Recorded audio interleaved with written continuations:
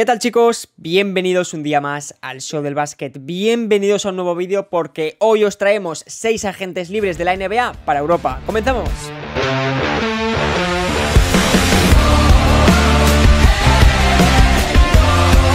Estamos aquí un día más, Pablo. ¿Cómo estás, compañero? Hoy traemos un vídeo bastante interesante, ¿no? De nombres de posibles fichajes para Europa. ¿Cómo estás?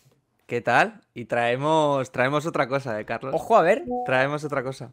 A, ver, a ver, a la vez, a la vez, a la vez, a la vez, a la vez. Una. Tres, dos, Uno. uno. Esto, esto, esto. Esto es increíble. Está guapo, tío. Eh, esto es un pequeño paso para el hombre, un gran paso para la humanidad. ¿eh? Hombre, ya se puede decir, Pablo, que somos youtubers profesionales cuando ya tenemos una taza personalizada, tío. Esto es tremendo. Ostras, esto ya, esto es tremendo. Esto es eh, o sea, historia, ya- macho. O sea, es como ya tener taza significa ya otro nivel dentro de, de esto del mundillo, Hombre, ¿eh? Claro, por supuesto. Hombre, y es que también, Pablo, es lo que hay, ¿no? Porque tenemos a un tío contratado en marketing también.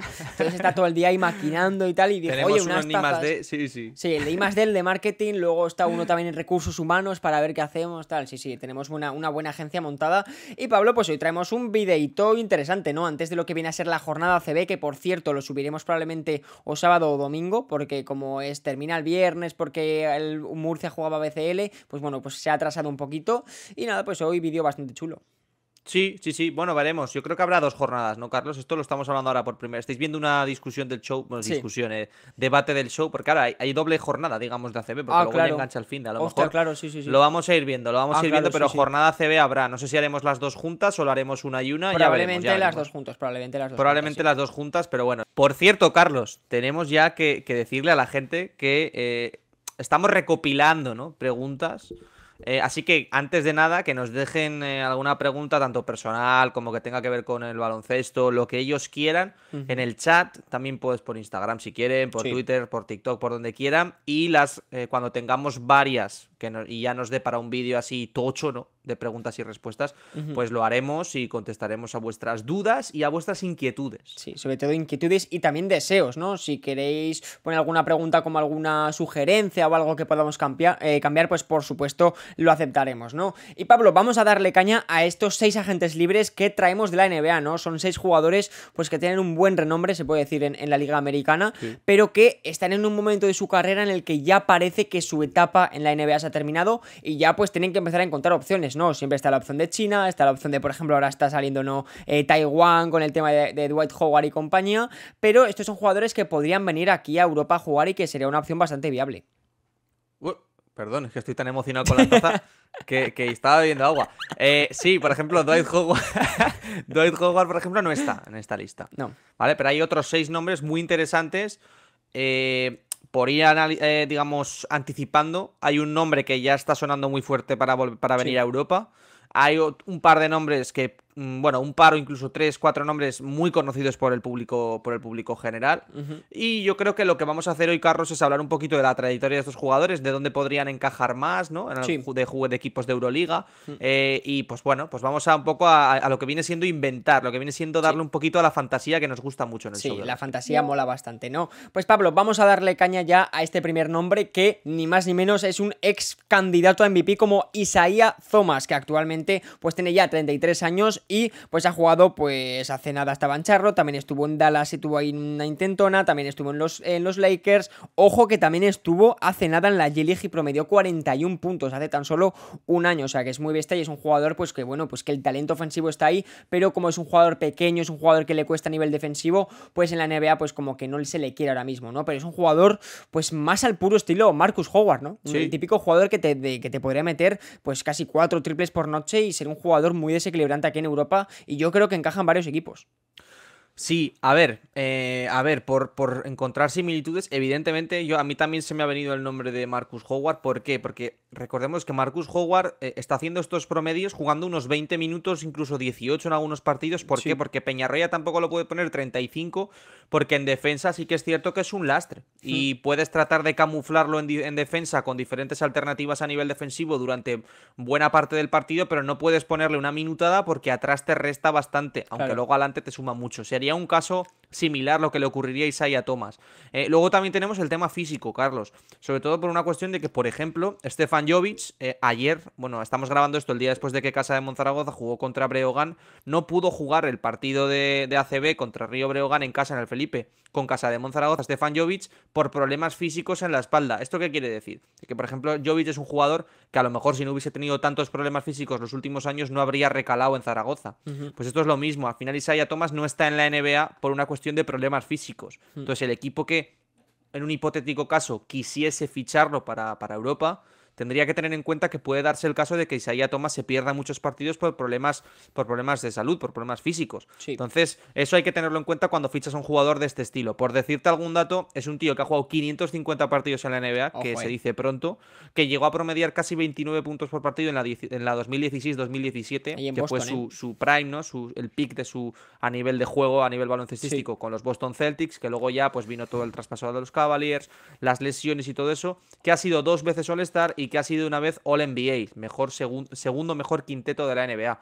Eh, ¿Qué más vamos a decir de Isaiah Thomas? Encajaría en muchos equipos y sobre todo yo creo que es un jugador con esa chispa anotadora en el perímetro que le puede venir muy bien a, muchos equipos, pero que también eh, puede distribuir en ciertos momentos y puede llevar las riendas y el tiempo del partido. Sí, en cuanto a nombres de equipos, Pablo, a mí se me había ocurrido que un destino ideal podría ser Panathinaikos, que es un, es un equipo que está buscando talento anotador, como que acompaña un poquito a Don Bacon, que está faltando ese talento allí en la ofensiva. Y me cuadra, por ejemplo, también en Milán, por el tema de cara a la lesión de Kevin Pangos, me cuadra bastante a nivel de base. Y un nombre que puede ser un poco más descabellado, pero no vería ninguna locura que Isaiah Thomas pudiese recalar en el Real Madrid y, Totalmente. y tener un rol, pues no de veintipico minutos por partido, porque no es sostenible, como has dicho Pablo muy bien allí en, aquí en Europa, pero un jugador pues que te aporte puntos, que te aporte anotación en ciertos momentos y que te desequilibre un poco el partido, pues es un jugador que le puede venir muy bien al Real Madrid. No, no, mis dos nombres son Real Madrid y Milán, en este, eh. en este orden. ¿Por qué? Por una cuestión de que eh, Milán he pensado como tú en la lesión de Kevin Pangos. Eh, la verdad que Milán necesita un base en condiciones y yo creo que Isaiah Thomas podría darle ese perfil. Y luego mi primera opción era el Real Madrid, porque yo de verdad, en los últimos partidos del Real Madrid estoy viendo una falta de chispa anotadora desde el perímetro por fuera tremenda. Y creo que Isaiah Thomas, mm, no sé si es un tiro fijo, digamos, si es una certeza, pero por lo menos mm, yo le daría el beneficio de la duda de si es capaz de desempeñar ese rol. Eh, porque al final es que cuando no está Musa, el Madrid sufre mucho en el perímetro. Muchísimo. Porque tiene mucho potencial interior, pero por fuera le cuesta mucho. Cuando no está Musa, le cuesta muchísimo. Gosh no, es una, no, no, no, tiene esa calidad anotadora. El Chacho, eh, yo creo que juega menos de lo que debería, pero tampoco es un jugador que a día de hoy ya te pueda anotar muchos puntos por partido. A lo, mismo que le pasa a Yul, lo mismo que le puede pasar a Rudy. En fin, mm. eh, Sonia, Sonia no lo pone, con lo cual Chus Mateo, con lo cual eh, este tipo de cosas necesita puntos por fuera al Madrid y yo creo que Isaiah Thomas se los podría dar. Sí, sin ninguna duda.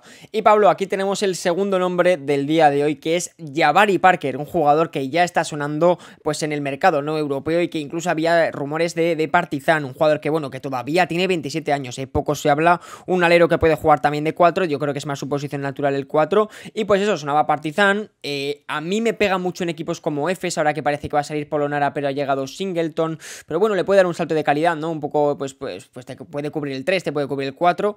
Y también incluso me pega mucho en Fenerbahce, un equipo así físico, un equipo, pues que en cierta manera, pues tiene interiores y, exteriores, pues más o menos compensados a nivel físico. Y Javare Parker podría cuadrar bastante, ¿no? Pablo, un jugador, pues que ha tenido momentos brutales en la NBA, sobre todo con Milwaukee Bucks, ¿no? Una temporada llegó a promediar hasta 20 puntos por partido, pero que también las lesiones le han lastrado bastante en esos últimos años. Totalmente. Yo cuando me preparé el vídeo ayer no había fichado el EFES a Singleton. Claro. Había pensado en el EFES, ahora ya me cuesta verlo más por una cuestión de que está, pues ya han cubierto un poco ese puesto de 4. Luego el Partizan, yo he puesto Partizan con mayúsculas subrayado, porque al final eh, yo creo que pinta que va a acabar, a recalar en las filas del, club de Belgrado. Y había pensado también eh, en el otro club de Belgrado. Ahora bien, no pueden inscribirlo hasta marzo. Pero sí que es cierto que Hassan Martín se ha lesionado eh, y están buscando algún interior que pueda, que pueda cubrir ese, esa, esa baja de Martin eh, en, la zona, en la pintura. Ahora bien, por mucho que lo busquen, no lo van a poder inscribir. Con lo cual, eh, yo dejaría de buscar y me tomaría unas vacaciones si fuese el director deportivo de Estrella Roja, porque me parece a mí que lo tienen en chino mandarino. Pero sí, esos tres equipos, Jabari Parker, yo creo que encajaría muy bien, independiente, sanciones aparte, pero todo apunta a que Partizan va a ser el que se lleve el gato al agua y se lleve un jugador que a mí me gusta mucho. A mí, la verdad, creo que era un jugador con potencial eh, all-star en la NBA, pero que las lesiones le lastraron muchísimo, que luego ha tenido momentos puntuales eh, en diferentes equipos en los que ha recalado, en los que demostró todo su potencial y la calidad que tiene en sus manos, pero que le falta continuidad, le falta regularidad y un poco lo que hemos dicho con Isaiah Thomas. Eh, cuidado con los problemas físicos porque pueden ser una cosa eh, recurrente eh, en una hipotética carrera europea de Jabari Parker, que llegó a promediar 20 puntos por partido en una temporada, ¿eh? en la 16-17 con los Bucks, casi nada. Se dice pronto, se dice pronto. Y luego, Pablo, tenemos como tercer nombre del día de hoy a un jugador que a mí particularmente me gusta bastante y que es de los grandes olvidados, yo creo, a día de hoy en la NBA, que es DJ Agustín, un jugadorazo, un base de 1,80 es pequeñito y que tiene ya 35 añazos el tío, es un tío ya veterano, pero que ha dejado muy buenos momentos en, en NBA. Yo recuerdo, Pablo, ese triple en 2019, ¿no? Con Orlando Magic, que, le ganó luego a Toronto Raptors eh, ese primer partido de, la primera ronda. Y es un jugador, pues que, bueno, pues que tiene muchos puntos en las manos, que es capaz de distribuirte en cierta manera al equipo. Y es un jugador que para Europa puede venir que ni pintado, ¿no? Es una. me recuerda muchísimo, por ejemplo, a Keenan Evans, puede ser un jugador bastante similar en cuanto a estilo de juego, aunque sí que Keenan Evans es como más flashy, es más rápido y tal, pero bueno, la forma de jugar y de adaptarse en Europa, pues puede llegar a ser esa. Y equipos, Pablo, aquí particularmente me pega mucho casi lo mismo que, que, que Isaiah Thomas, eh, para Cenaicos, Milán y Madrid. Pues fíjate que yo no he pensado en el Madrid. Porque yo en el Madrid pienso más en un base anotador, porque para tener un base de 35 años que pueda incluso que sí que tiene puntos en sus manos, pero que a lo mejor ya no está en las mejores condiciones físicas para llevar el peso anotador de un equipo como el Madrid, eh, a lo mejor ya no me pega tanto. Yo creo que Isaiah Thomas, aunque solo tiene dos años menos, sí que tiene un pelín más de baloncesto todavía en sus manos y en sus piernas. Yo creo que DJ Agustín, yo creo que vendría más a desempeñar un rol eh, de, llevar el control del, equipo, de ser el dueño, amo y señor de un equipo, pero no tanto en la faceta anotadora, sino en todo lo que engloba y a nivel asistente, a nivel de repartir juego. Y a mí me pega muchísimo en Milán. Sí. Y me pega muchísimo en Olympiacos, porque hablábamos con el tema de Facu Campazzo, que cuando hablamos de dónde podía recalar, hablábamos de Olympiacos, que mejoraría World Cup, que es un jugador que a mí personalmente me gusta mucho, pero que quizás ese puesto de base Olympiacos tampoco es el que tiene más cubierto y el que tiene más potente. Y a lo mejor hay un DJ Agustín podría, podría encajar. No sé, eh, al final es un jugador con 14 temporadas en la NBA que yo tampoco tengo claro hasta qué punto a él a nivel personal le interesaría recalar en, en Europa o ya irse a cobrarlas a una liga bastante menor claro. y retirarse. Claro, ahí está la cosa, ¿no? El tema también del salario, porque en Europa es alto, pero si te vas a, China, por ejemplo, pues vas a cobrar muchísimo más, ¿no? Sí. Luego, Pablo, tenemos un nombre, eh, otro que ha sido All-Star y un jugador que yo creo que es muy querido por muchísima gente, que es DeMarcus Cousins, pivot de 32 años, 2'13 de altura. Es un jugador que también las lesiones le han lastrado muchísimo desde que, bueno, pues estuvo en Sacramento Kings, que yo creo que fue el pico de su carrera junto quizás ese, esos Pelicans de Anthony Davis y tal, que, que llegó a ser también All-Star. Y luego, pues desde que se fue a los Warriors se lesionó y tal, pues la carrera ha ido hacia abajo, pero es un jugador que ha dejado unos destellos en NBA tremendos, una dominancia tremenda. De hecho, yo creo que hace 5 años era el mejor pivot de la NBA, ¿no? Y luego, pues ya las lesiones de espalda, lesiones de también de piernas, pues le han fastidiado todo esto. Y Pablo, aquí de equipos, a mí me tira mucho aquí, por ejemplo, en Mónaco, un equipo muy físico, me pega mucho en el, en el 5, y el EFES. El EFES que tiene, que tiene saldo para, para ello y que le falta un poco esa potencia interior y, y de Marcus Cousins puede suplirla. Está muy bien tirada la de Mónaco. Sobre mm. todo porque yo tengo dudas de si em, de Marcus Cousins eh, llegase a Europa mm, fuese para tener un rol principal como cinco titular de un equipo. Mm, yo no sé si físicamente está para eso. O sea, yo sé que desde Estados Unidos a lo mejor hay hay jugadores, hay gente que ve el baloncesto europeo como algo menor y que casi cualquier jugador de NBA podría ser titular y una estrella en Europa, pero la realidad es que luego cuando llegan se dan de bruces con la realidad y se dan cuenta de que esto es mucho más serio de lo que, de lo que se pensaban. Y yo creo que el caso de Marcus Cousins podría ser un caso así, de decir, viene de Marcus Cousins, subidón espectacular, va a dominar la Euroliga y luego a lo mejor no le da para ser más que un pivot suplente de mucha calidad, pero un pivot, un pivot más a nivel secundario en la pintura de un equipo de estos. Efes lo he pensado, Efes yo creo que sería para ser titular, sinceramente. Yo creo que Efes sí que sería para ser titular. También Mónaco lo he pensado como suplente de Don Hall. También, Pablo, yo creo que en Efes dependiendo del planteamiento ¿no? del partido, porque Tibor Place pues te mucho el campo y de Marcus Cousins quizás pues menos. Bueno, pero también puede tirar de tres. Yo creo que ha tenido momentos, rachas bastante buenas, pero sí, sí, la verdad que Tibor Place te hace ese papel bastante interesante, pero tampoco es un jugador que te pueda jugar muchísimos minutos. No, eh, no, Tibor Plyce. Bueno, salvo que le dé el punto filipino como en la final Con, de con la Euroliga. final pero- macho. Sí, sí. Pero, pero luego te- me ha- me ha- se me ha ocurrido otro nombre. A ver. Maccabi Tel Aviv. ¡Ojo! Y te voy a decir porque son. A ver, les gusta mucho este tipo de gente. O sea, mm, el mercado de Maccabi en verano ha sido un poco caótico. eh, las cosas como son. Sí. Y una cabecita loca como de Marcus Cousins, pues sería pues, pues más leña al fuego. A mí no me pega, no me, no me. Digamos que son expertos, digamos, en fichar talento, pero luego. Y luego ya ver cómo lo encajan. Eh, vamos a ver. Pero a mí, sinceramente, por ejemplo, mejor a Jay Cohen. Mejor Sí. a Jay Cohen. Bueno, sobre el papel sí. A lo ¿Y- mejor ¿Y a luego. Josh, y a Josh Nivo? ¿A Josh Nivo te lo mejora? a Ah. Josh Nivo no sé si me lo mejora. Eh, a ver, pues sobre el papel te mejora todo. Porque al final Sí. es un tío que ha promediado 27 puntos por partido en la, 10 en la 15-16, que ha sido cuatro veces All-Star, dos veces All-NBA. Te lo mejora todo. Pero sobre el papel. Luego sobre la pista, a lo mejor no te mejora ni a Cristian Mekogulu en casa de Monzaragoza. Y eso que es difícil, ¿eh? Eh, Luego, Pablo, como quinto y penúltimo nombre del día de hoy, tenemos a un tío que me haría una ilusión tremenda, que es Lance Stephenson, la cabra loca de. Lance. Este sería tremendo, ¿no? Escolta de 1.98 y que ya tiene 32 añazos. Un jugador, Pablo, que ha sido un meme absoluto en la NBA y que yo creo que tiene mucho baloncesto por dar. Si te acuerdas, en la temporada pasada en Indiana Pacers, me parece que se hizo como un 8 de 8 en triples o una cosa así en la primera mitad de un encuentro. Que así, fue un día de calentada, ¿no? Porque es un tío así. Pero es un jugador que tiene mucho, muchos puntos en las manos, muchos recursos. A nivel defensivo, pues como está loco, pues te hace algo, ¿no? Ya solo su locura le permite estar loco y tenerte un buen nivel defensivo. Y aquí, Pablo, quizás yo creo que coincidimos en equipo. No sé si es real esto, pero molaría muchísimo a mí en Basconia. Hombre, yo no coincido en equipo. Yo no coincido en equipo, ¿No pero la verdad equipo? que. No, pero la verdad que me has dejado bastante. Bastante. O sea, bastante motivado. Sí, que me mo- molaría en Basconia, tío. Molaría, molaría para el aficionado neutro. A Peñarroya no le molaría nada. Nada. Yo creo que el Vasconia lo último que haría sería fichar a este tío ahora con lo bien que van las cosas. A mí se me han ocurrido nada más y nada menos que cuatro equipos. A pero ver. tres van en pack. Tres van en pack, que son los tres que le han hecho oferta a Tyler Dorsey. Es decir, A ver. eh, tanto Olympiacos como Mónaco como Fenerbahce han hecho oferta a Tyler Dorsey cuando fue cortado por Dallas, que es un 2, anotador. Y yo creo que en ese sentido, pues lo- en lo- los tres, eh, en los tres me encajaría Lance Stephenson.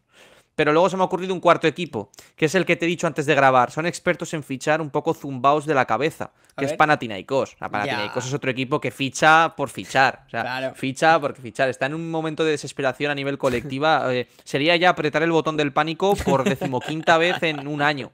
Pero no me, no me, no me disgustaría, la verdad. O sea, me haría gracia ver a Lance sí. Stevenson en cualquier equipo de la Euroliga. Sí, sí, sí, sería tremendo. Y un jugador así que te dé mucho también marketing, ¿no? Que te venda mucho, pues Sí, está bien sí. en, en la Euroliga, ¿no? Y Pablo, tenemos como último nombre quizás a uno que pasa más desapercibido, ¿no? Entre estos grandes nombres que hemos comentado, pero que es un jugador que tiene mucho talento. Ben McLemore, escolta de todavía 29 años, ¿eh? Tiene baloncesto por dar, 1.96 y pues hace nada estaba en los Lakers, ha estado esta- en la temporada pasada en Portland, estuvo en los Rockets, pero sus años buenos fueron en Sacramento allí en su, en su inicio de temporada. A mí, Pablo, eh, me lo veo aquí, por ejemplo, en equipos como Olympiacos, que en el 3 y en el 4, bueno, en el 2 y en el 3 pues todavía tienen eh, posiciones por cubrir, o incluso también en el Real Madrid, un jugador que te pueda meter de 3 y que sea más o menos consistente desde ahí y que también te pueda defender porque es un jugador pues potente físicamente y que tiene buena envergadura. Sí, a mí de los seis es el que menos me parece que tenga opciones de llegar a, a Europa por una cuestión de que yo creo que todavía tiene opciones de NBA reales en duda. equipos, por ejemplo, como puede ser el caso de los Lakers. Sí, Por o ejemplo, los Nets, por Ben ejemplo. Los Nets, yo creo que es un, es un jugador que podría encajar, pero puestos a imaginar que podría llegar a, que pudiese llegar a Europa, lo mismo que te he dicho con, con Lance Stephenson, los tres que le han hecho oferta a Tyler Dorsey, pues un poco en ese sentido, un 2-3 mete puntos, eh, les vendría bastante bien. Y luego he pensado en dos equipos más allá de cupos, porque y tema de extracomunitarios, que ahí está jodida la cosa, hablando mal. eh, eh, en estos dos equipos, a mí Valencia y Barça. mm, Ojo, eh. Ojo. Ostras, el Valencia estaría muy bien. Sí, eh, eh, Barça con el tema de los extracomunitarios, eh, el otro día Kyle Kuric se tuvo que quedar fuera, bueno, eh, en fin, yo voy a dejar ese tema aparte, pero bueno, el Barça nunca, no le vendrían nada mal puntos por fuera, aunque tampoco creo que sea una necesidad imperial, pero yo creo que le vendría bastante bien un Ben McElmore, sobre todo porque Jokubaitis no está aportando a nivel de anotación todo lo que se podía llegar a esperar en este tramo de la temporada. Y luego el tema de Valencia, desde que se fue Matt Thomas no hacen más que eh, muchos aficionados de Valencia recordar a Matt Thomas, decir que necesitan un jugador así, ojalá volviese. Pues yo creo que Ben McElmore es un jugador que puede darte ese perfil, sobre todo además eh, con la temporada de Prepelic, que no está teniendo los porcentajes que se esperaban.